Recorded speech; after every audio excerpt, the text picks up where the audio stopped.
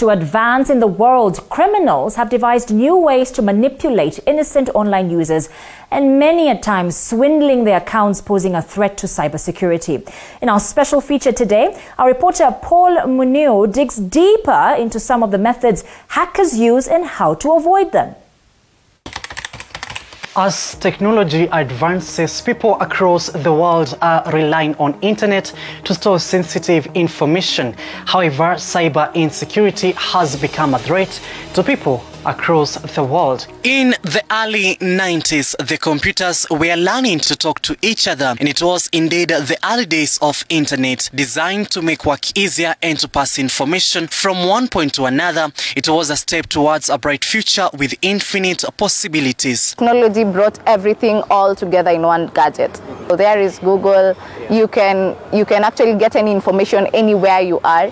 It has made communication easier. Today, you can shop, bank, connect with family and friends, and even make money from wherever you are, thanks to technology. Of course, everyone else is excited. However, all these conveniences have a dark side. The fact that we share a lot of data online, uh, the internet is growing so wide, so it's easy for, for people to obtain our data online, just the, the, our data that is publicly available and then they can be able to use that data to target our devices. With the ongoing economic crisis, people have found easy ways to make money through online platforms where those who want to get rich fast invest, hold, and make profits. The generation that we are being raised today wants shortcut. There are so many risks out there uh, from phishing. People are hacked every other day. Making profits, however, is always not the exciting part. This what they don't tell you about the online opportunities. Information is power. So once the guys with the band ident they get to collect a lot of data for us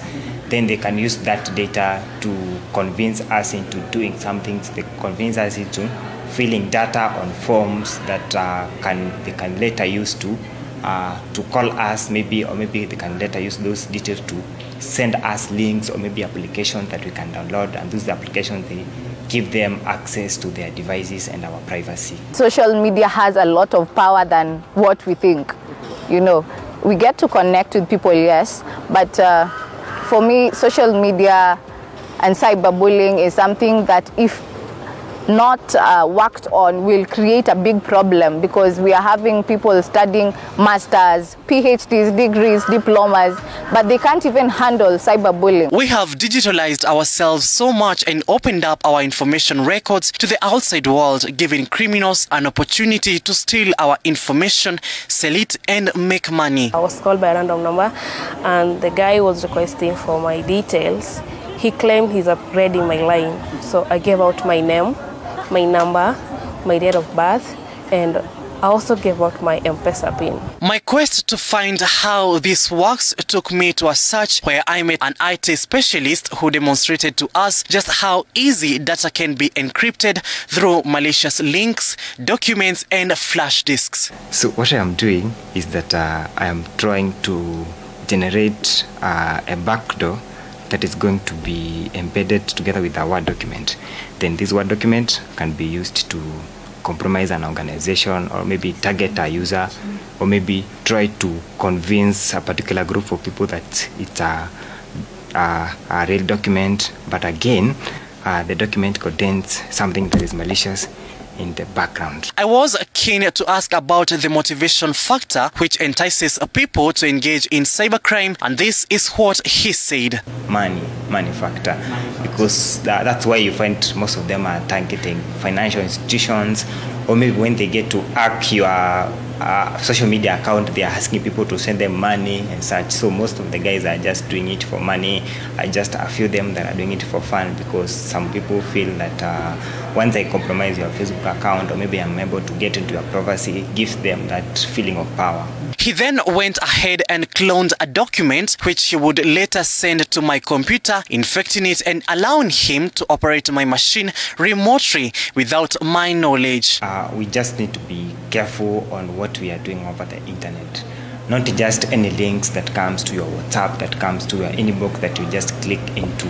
Not just anything that you are promised online uh, that you have to check to and again not an application that you are not to install that you are supposed to install into your android or maybe ios device there is one major big problem which we're trying to solve how can we get senior management to be able to be aware of what cyber risks are and be able to make sure that they also understand what to do or yeah. what investments are needed that they can put that in a budget it's always a very difficult conversations when it managers or security managers get to ask for budget approval yeah. for them to protect their organizations by the time they want to get that done sometimes they get hacked, they lose data, and they lose a lot, so much more before they get to wake, before they wake up. We need to be able to make sure that we can get this done prior to the time when this is going to happen.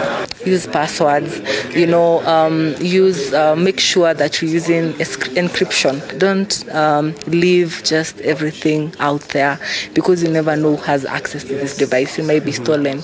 Generally, before concrete solutions are developed, the online community ought to embrace the already available prevention measures provided for by our computer experts in order to protect our data and reputation from online criminals. Paul Munio, TV 47. Now you're on the know. Thank you, Paul, for that report. Now, the war against teenage and in the war against teenage and unintended pregnancies in Trans Nzoia County received a major boost after the county government acquired a mobile clinic